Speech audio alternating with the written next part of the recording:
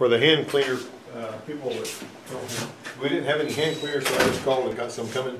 So we should have some hand cleaner coming either between now and the time we're done here or, uh, sometime this afternoon, so don't fret if you're out of hand cleaner. I've also got some paste hand cleaner I can put out there on a temporary basis too, but kind of tends to clog up the drain, you know? Anyway, uh, we're one, one of the things that we typically like to do is, you know, is, is make sure that we stay focused when we're, when we troubleshoot something and we find out what's wrong, what we need to do is determine what's the customer's best course of action. And of course, they wanna know both ways. What, you know, should I do this or should I do that, or what would you do if this was yours and all that. You gotta consider the number of miles on the car, what they're gonna use it for, how much they're gonna drive it. There's all kind of stuff you need to be thinking about on that. This particular one was a ninety-eight F-150, four point six liter with an engine skip and a PO three oh five diagnostic trouble code. PO three oh five. This one has plug wires, not packs. It's not like the one that you put the plug wires on yesterday, you know, it's the same setup basically. Incidentally, if you're putting the, the uh, coil wires, if you got the two coil packs on the, one of these four sixes and it has plug wires on it, whenever you get your spark plug wires out of the box, you take the two longest ones and the two shortest ones, they go on the passenger side, and all the rest of them go on the other side. You know, you got one and three and two and four. Two and four are gonna go over to the other two coil, one and three goes to the coil on the, the passenger side, and then seven and eight are the short ones for the other side, and the long ones on the other side are five and six, and they come over on this side. Just remember that. Uh, there'll be a test on that tomorrow afternoon, so. Okay, right now, somebody tell me, where would you start? Where would you start? We know we gotta skip on cylinder number five. This is not coil packs, I mean, this is not the calls, it's actually got the little, I say coil pack, it's not cop calls, but it is coil packs. It's actually the ones that, have, you know, it's got four and four, you know. And so, uh, so what do we got here? What are we gonna do? Check the spark plugs. Know, Look at the spark plug, see what we got there, it's not a bad thing to go. Okay, let's say we pull the spark plug out, looks okay, don't see a problem with the spark plug. Now what? Wait a minute. There's spark going to it. That's not a bad plan, see if you got spark going to it, but I will tell you this, if one's misfiring because they got no spark going to it, it will typically, the spark plug will be dark and greasy, uh, if you've had one like that. Um, and this is a dead skip, right, and low power and all that kind of thing. And so I'm looking at the fact that we got that, so what else might cause that injector, uh, I meant to say, that what it might fire, besides an injector, you know? So how are you gonna determine if the injector's a problem? Timing, on that injector test. You can, you can actually run the little, it's a little machine, pressure it up, see if it's delivering fuel in there, and, uh, you know, put your stethoscope on and listen, see if the injector's clicking, or use the little orange pistol grip thing I use, it flashes a light when it hears it click and all that. Of course, the clicking injector doesn't mean it's delivering the fuel it should. But I tell you what, before we go to all that much trouble, let's just go ahead, and since we got the spark plug out anyway, let's just, uh, do something else here. Number five was a dead hole. Injector was clicking, spark was present, spark plug didn't look greasy, obvious out of the way, it was time to put on the detective hat. All right, we gotta do some forensics here. So, they came into the office, put the known facts on the whiteboard, I put on my Horatio Caine sunglasses, and I said, okay, this is what I want you to do. I said, get a compression gauge screwed into that hole, let's see how far that number five will push the needle, spin the starter through at least six puffs. Like that. All right, so, we did that. I heard him cranking the engine over, it was obvious from the sound that the crank was picking up speed during one of the eight compression strokes. You've heard this before. Instead of it going, yeah, yeah, yeah, yeah, yeah, yeah, yeah, it's going, yeah, yeah, yeah, you know, one of them is not squeezing any air. And I've heard, I've heard them crank all the way across the parking lot, starting like that. You know, when somebody's starting one up, it takes a little bit to start, and it's, and one of them's going, yeah, yeah, yeah, like that. I've also hit them, heard them go driving by, skipping, you know. Wonder how long they've been driving it like that. Uh, Tony just had me go out there, that guy that, uh, you know, electronics instructor, he said, can you, you got a code reader? And so, uh, what I did was I whipped out my BlueDriver and got my cell phone, you know, to the BlueDriver, plugged it in, and he's got a PO three oh two misfire code. You know, so he said, and he's driving this V six, and he's not even sure it's misfire. And he's, you know, it's really something, when you feel one skipping, some people can't tell it's skipping, they just realize it doesn't have the power it ought to have. And that's where we're going with that, uh, truck that you're working on. It didn't, it was skipping, didn't have the power it ought. All right, the cause of the dead cylinder had to be further pinpointed, and we needed more data to complete our service-based forensics. We needed to know more than we already knew. Okay, so if we've got low compression, how can we determine what the cause of the low compression is? We talked a little bit about that last week. All the time. Hmm? Off timing, smoke test? Off timing. Uh, well, that will typically cause just one cylinder to have low compression, huh? It's not a leakage test. Hmm? It's not a leakage test. Cylinder leakage test, oh, that's what he was saying, okay. All right, not a bad thing. Needle point seventy pounds of compression, less than a third of what it should be on an overhead cam engine. Overhead cam engines typically have higher compression than cam and block engines. You got it? Um, Uh, their questioning glances says, what now? They're looking at me and say, what do we do now, you know?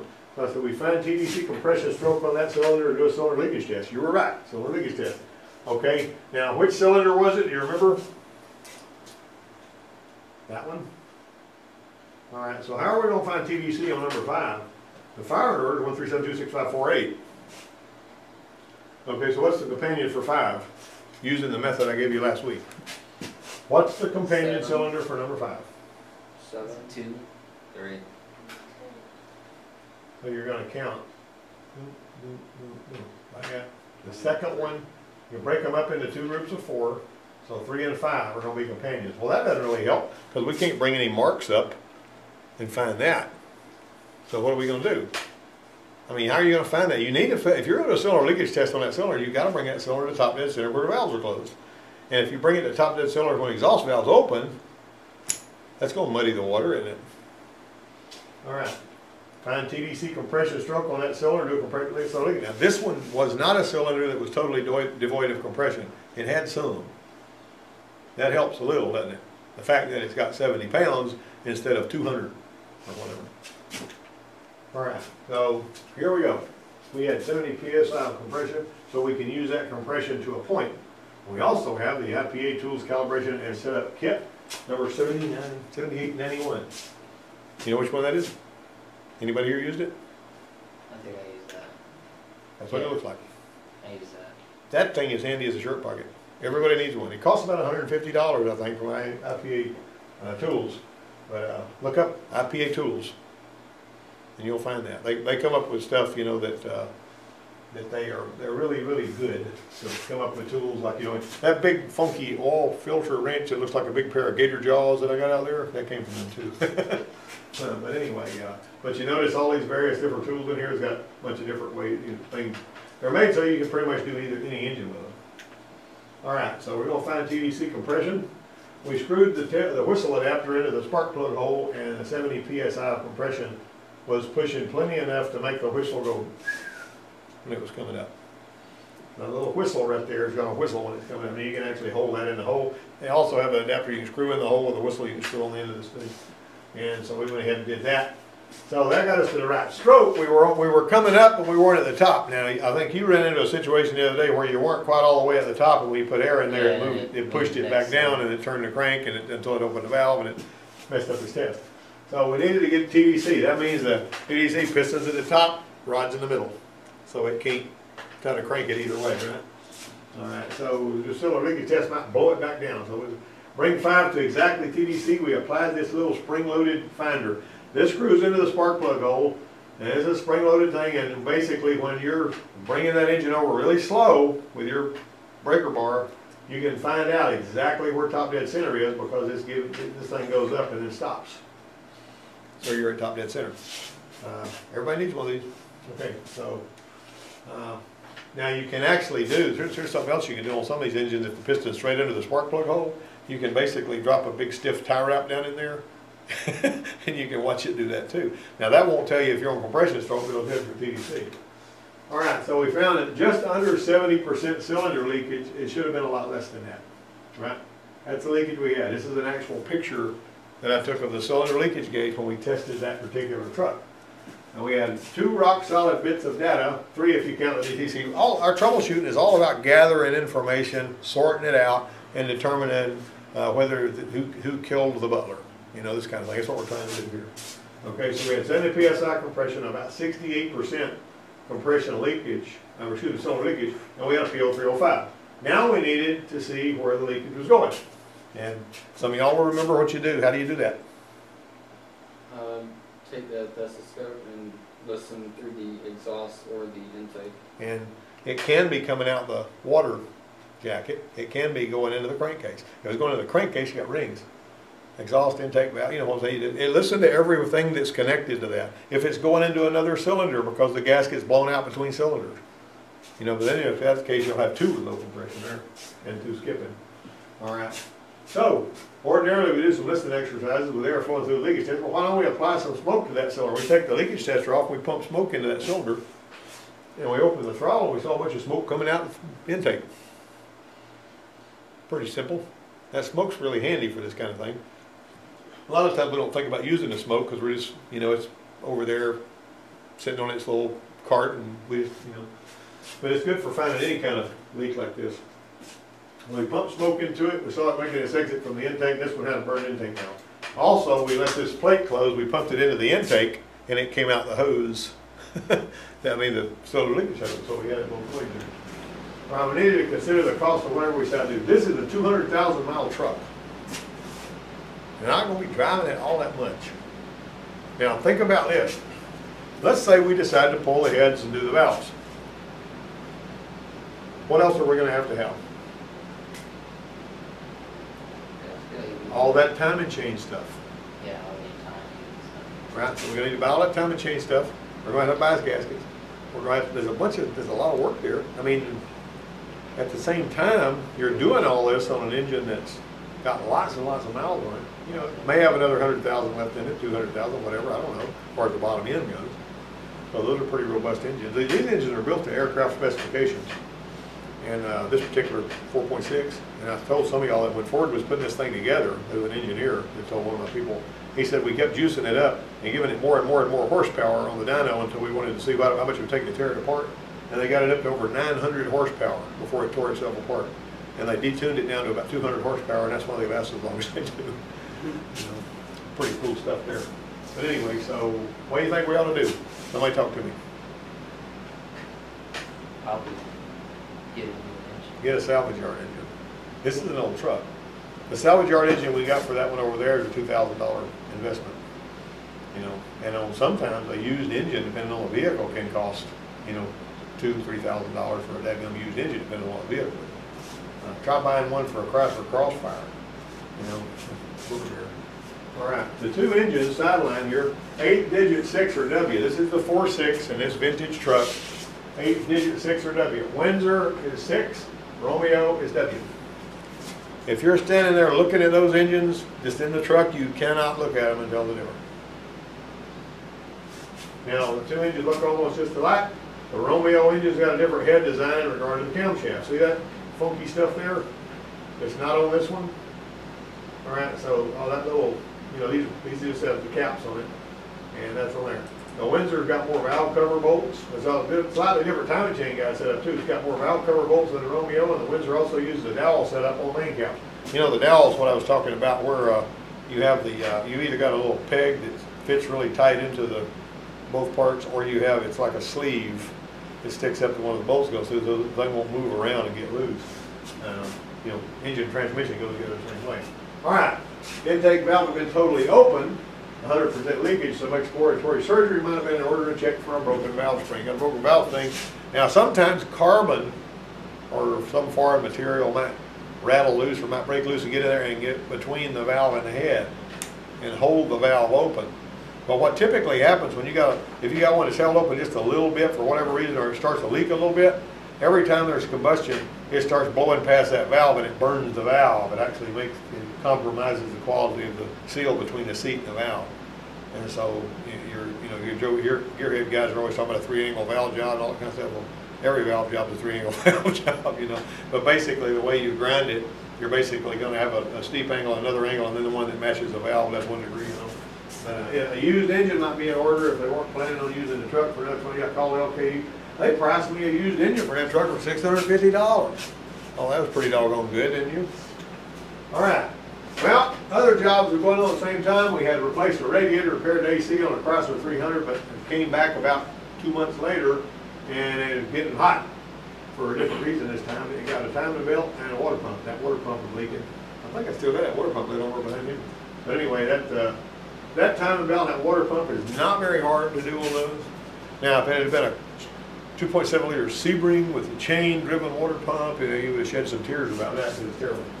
Um, we had a transmission swap underway on a PT Cruiser, that very cruiser right there, and we need to check, uh, one, that one for overheat problem too. Here's typically the deal that goes on on a PT Cruiser. Uh, my neighbor across the road bought his daughter a PT Cruiser. I said, watch out, it's gonna overheat one day. He said, huh? I said, yeah, it's what PT Cruisers like to do, they like to overheat. They start to get some miles on, you're gonna see some overheating going on. So, uh, she drove it for about a year, and then I saw it sitting in the yard, she's off in college. I said, what's our car doing here? He goes, it's overheating. He said, what do you need to do with it? I said, he said, what, he said, what do we need to do with it? I said, well, if it was me, I'd put a radiator and a fan and a thermostat in it. So, saw him about two weeks later, I said, what do you do with her car? He goes, put a radiator and a fan and a thermostat in it. Why didn't cool as a cucumber. Those little suckers right there, they seem like they're a booger bear whenever you open the hood and just look in there, but they're not that bad. Now, They were changing the transmission out, which is not here. All right, all right, we troubleshot a two thousand seven Altima with a delayed reaction blower motor issue. If you started the car for five minutes, the blower wouldn't work. And then it would come on. Well, what we did was, we got it to happen, and did some voltage checks, a few, after that, we transposed the potted blower and defog relays, to the defog relay. Who's gonna know if the defog comes on, you know, right away, you know what I'm saying, the blower, though, you can tell. And it's in winter time, she's about to freeze. So long and short of it was, we put that little, we found out, I will tell you what, though, that relay is a bear to change, it's up in there in a hard place to get to, I don't know what Nissan was thinking about when they crammed it up in there. And the guy that did this job works at Nissan place now. And he called me and he says, I had one that came in that was doing exactly the same thing that one was. And because I knew what was wrong with that other one with the same symptoms, it took me ten minutes to find it and fix it. What he was telling me, so. Anyway, these potted relays, you see them relays that are potted, they look like they got epoxy in there. Uh, they got the same pin out as these relays here, but these relays fail in a very peculiar fashion. Uh, these are kind of failure prone relays and it seems like you may have a car with a whole bunch of these relays on it, but one of them typically gonna die. And that one there, these right here, I'm not saying they don't fail, but I like these better than those. And, uh, that relay right there from the Nissan dealer costs thirty something dollars, but you can get one cheaper at Park Store than that. Uh, but anyway. Okay, so the F-150 owner called back and opted to use LKQ engine and, uh, we put the engine in, it's not for lazy, wimpy, faint-hearted people, I'm telling you, when, when he's swapping one of these motors out, is, you know, uh, Willie and them did it, uh, you know, he's an army veteran, he's older than me, and he actually got that thing up out of there, and him and Lee, you know, and they went ahead and stuffed it in there. Well, we had to buy a thirty dollar eight bolt flywheel from a local salvage yard, cause the original engine had a six hole crankshaft, and the original flywheel wouldn't fit. See, so we had a six bolt on the old engine and an eight bolt flywheel on the new engine. And it happened, so I called LKQ and they verified it, we could have either a six or an eight bolt crank on a Romeo, but it would be several days before he could get us the right flywheel.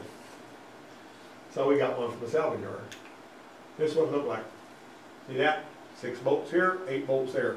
Now, some of the online stuff that you read, some of the online forum stuff, will tell you that Romeo has six bolts and Windsor has eight. I don't know if that's true or not. Uh, a lot of times what you read on a forum, you know, some of it may be true, some of it, you gotta filter what you read on forums on the internet, because some people know what they're talking about, some people just think they do. That's how that works, you know, but anyway, whatever happened, we got that handled. Well, the dirty hand is dealt. When the replacement engine was in place, it would spin with no compression and it had intermittent backfiring through the intake. Ain't that great? No way you can tell this. Nicholas would have packed up and went over to the house, wouldn't he? All right. But anyway, so here we go. What are we gonna do now? This was a revolting development. You're supposed to laugh at the cat with the bird sitting on his head, because that's what this felt like. He's definitely in a catbird seat, right? Okay, so, good salvage parts companies typically start to use engines that are planning to sell while the engine is still in the vehicle. In Fulford, over there in Enterprise, they start the engine, if it runs good, sounds good, has good oil pressure and all, and this is what I was told by a guy that I used to work with, and they pull all the spark plugs out, and they squirt some transmission fluid down in all the spark plug holes to make sure there's no rust building up in there. They put the plugs back in it, they set it on the shelf, and they keep it out of weather. It's a good place to buy a motor, and we bought good, you know, stuff, and they're, they're good people over there. Uh, but this particular one, and I'm not saying LKQ is bad people, Where's that at? uh, If you go to Cotton Creek Plantation, and you turn right, and you drive uh, a couple of miles, you'll see them on the left. Is this wait? Where you talking about? Like what city? Enterprise. Oh yeah. You're thinking about Lester's Auto Salvage. With Johnny over there. You No, know? because one of my homeboys, he worked for one of them. Oh, the one in Enterprise? Yeah. Oh, yeah, he may work over there. There's a there's a bunch of people that He do the driving, like he'll Mhm. say they got a motor, he'll take it all the way Mhm. over here somewhere, whatever. Anyway, we checked and rechecked the spark plug wire out, measured the compression, found one cylinder 99, 40, 60 PSI on all the others, no oil, the cylinder didn't do anything to improve the compression. We didn't do surgery, somebody had probably turned this one backwards. Don't turn the engine backwards when you're using your breaker bar, okay? It's a bad bet to do that. Now, it's not gonna damage every engine, but when you find the one it does, you'll say, crap, I wish I hadn't turned that engine backwards, because now I got all this work to do. One time I came in with Zach and then was working on one after I'd been gone for a couple of days and somebody was substituted for me. The ratchet was set so to turn the engine backwards and it was hanging on the bolt. And I said, y'all turn this motor backwards, didn't you? Oh, well, yeah, somebody did. They put a timer belt on that one, but anyway, the picture. Uh, so always turn it the same way it runs, whichever way that is. If the engine's in it with a timer belt on the left, it's gonna turn backwards to the way it does right. Anyway, so we sent another motor. Well, we get it all, we got this willpower here, we got that another motor put in there. This is a good way to, to bolt across there and put your, you know, we got that thing to take the intake off, the in there. We got our, uh, use our flywheel, we redid the engine swap in a third of the time it took the first time around. Amazing that, you take it out, and you've done this before, pull it out, put it back, it ain't right, you gotta pull it out and put it back again. You do it a heck of a lot faster. If you have to pull it out and put it back in a fourth time or a fifth time, you can get where you can do it in an hour. And that's why, that's how you get to where you make money in in a shop, when you get to where you can, some guys, even if they hadn't done one of the jobs before, they can do it quick. But I mean, if you get where you can pull them out and put them back in fast, that's where the, that's where you're starting to rake in some coins. Uh, you know, if you, if you're one of the people that hangs around at the water fountain all day shooting the bull, maybe I can get out doing any work today, at the end of the week, they ain't gonna have much money to give you, especially if you're working on commission, okay? Or if they are, if you're working on the clock, they're watching your productivity, and if you ain't making no money and they see you talking a lot, they're gonna say, you just hit the road here. You know, so make sure you do that. Expect to earn what you get paid. Is that unreasonable? It's not unreasonable to expect to earn what you will in this business. Some jobs won't go well. You're not gonna make a killing on every job. Some of them will beat you up. Take responsibility when you make a mistake. I scratched the paint. I broke the whatever, okay? Uh, just tell them, you know, we'll try to get out of it. You know, just go say, look, this is, a- this is a screw up, you know? I mean, of course, you know, one ways you can keep from dropping the transmission is actually strap it down on the jack before you're pulling it out. We do that here. But I've seen dealership mechanics just set it up on the thing and figure it'd be I eight and it rolls off, bam, hits the floor and somebody's gotta come up with the transmission. One day we had a guy broke into the shop over at Bondi's and, uh, there was a transmission, it was in a Thunderbird, a manual transmission. It just had one bolt holding in. And the guy took, whoever broke in, took that one bolt out, stole the transmission from that Thunderbird. What he didn't realize, he was stealing a bad transmission. The guy was pulling it out and he just left the last bolt in there, to let it hang there over that. That guy stole the transmission, it wasn't worth a darn. Took it with him, everybody said, well, we need to get rid of that transmission anyway. I bet you was really so Oh, he was hot, you know. Of course, you know, oh, you know, the Tony the loan shark may have beat his head when he found out about that bad transmission. Uh, show up at work early, don't leave early, get a lot of work done, ignore the people around that, that complain. There's always gonna be complainers. And this is something else, you can make the atmosphere where you are stink by having a bad attitude. You can get everybody depressed if you got a bad attitude, Mhm. you know, just look it up, you know, look up. Richard. Hmm? You know. What you need there, homie? Yeah, you were the, you're the Jeep guy. I don't want you to Yeah, I'm almost done. Give me a second. Uh, so they're not making things any better, nobody makes anything any better for anybody whine- by whining. You know, the boss is not gonna say, my goodness, Robert is whining, I think I'll make things better for him. That's not the way that's gonna work. The Whenever, the kind of work that you're doing at night, the construction work that you're doing out there at Rucker, you know, and nobody cares anything about hearing somebody complain about the job being tough, you just get the work done, right? Straight up. And don't whine. Yeah. And uh, anyway, everything it can be fun if you let it be, you know, and you can watch these other guys and Uh, you know, some people are just funny by default, you know, just watching them react to the stuff they do, but anyway. Anyway, that's the, uh, that's the end of that.